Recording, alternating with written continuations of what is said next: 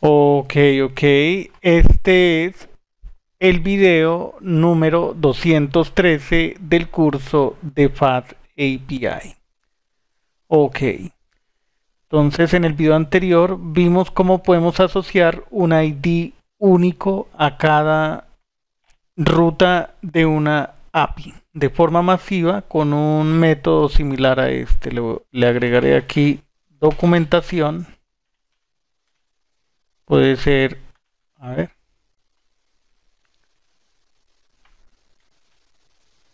bien, listo, los parámetros,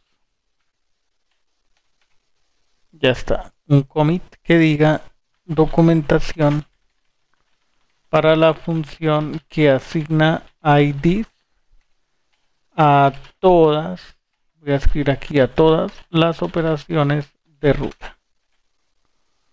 ¿Qué sigue ahora? Estudiemos esta parte. Para excluir una operación de ruta del esquema de Open API generado y por lo tanto desde los sistemas de documentación automáticos eh, recurrimos al uso del parámetro include in schema. Eh, ahí se coloca false. Entonces, a ver, creemos otro archivo. ahí mismo. Un archivo que se llame EX03 excluir operación ruta.py. Entonces, lo primero es importar Face API. Creamos el objeto Face API y podemos escribir una operación de ruta. Aquí items y el atributo include in schema false. Podemos decir assign def read items return y retornamos esta lista. Enseguida agregamos la documentación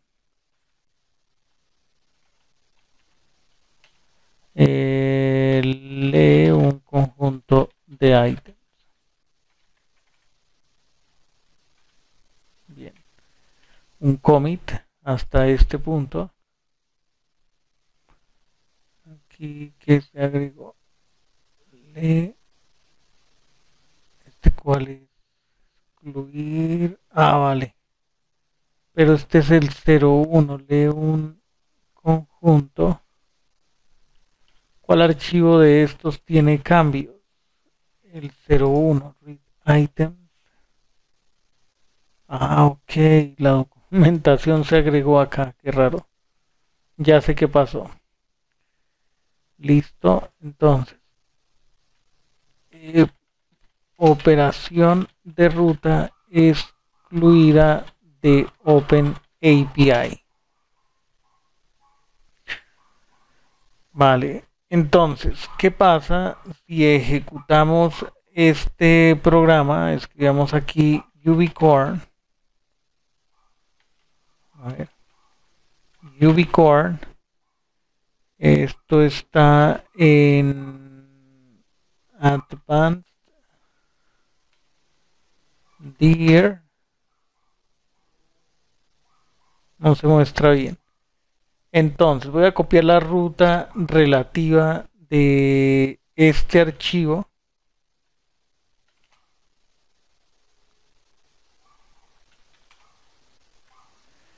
ubicorn.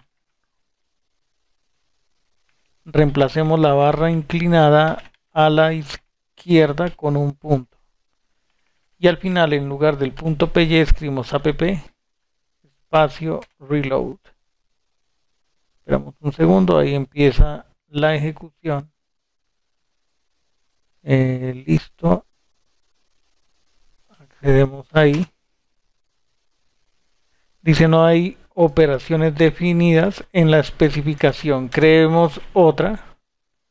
Puede ser una que se llame items. Eh, digamos user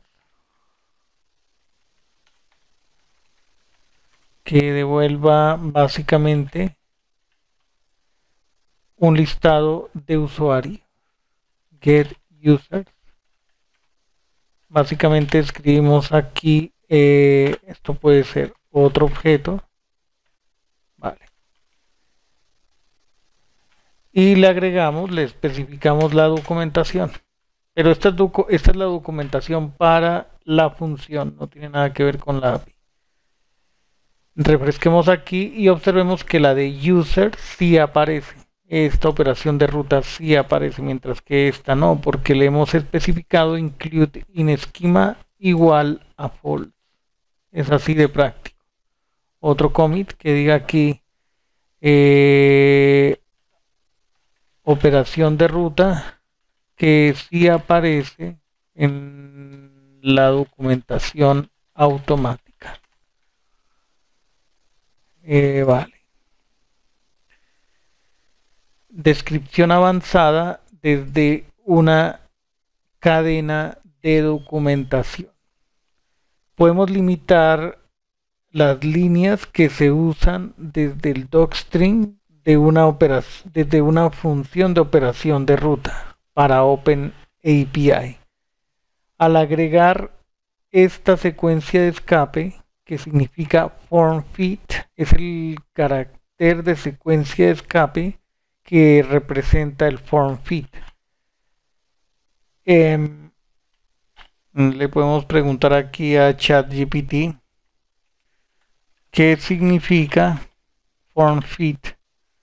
Eh, form fit.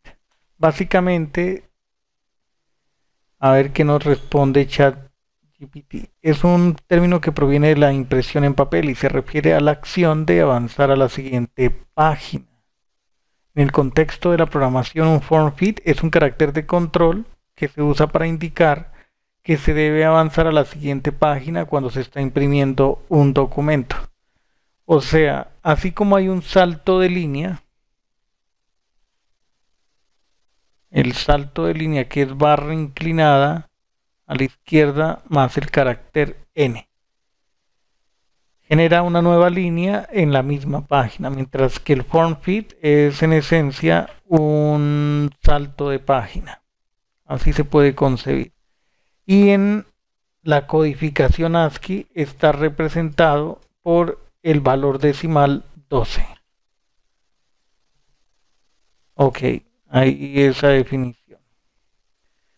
Dice al agregar ese form fit se genera en fase API que se, se trunque la, salida eh, para Open API en ese punto.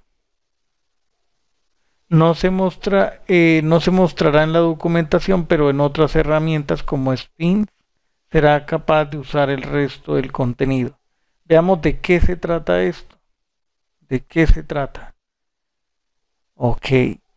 Entonces, eh, yo creo que esta parte la podemos dejar para el siguiente video.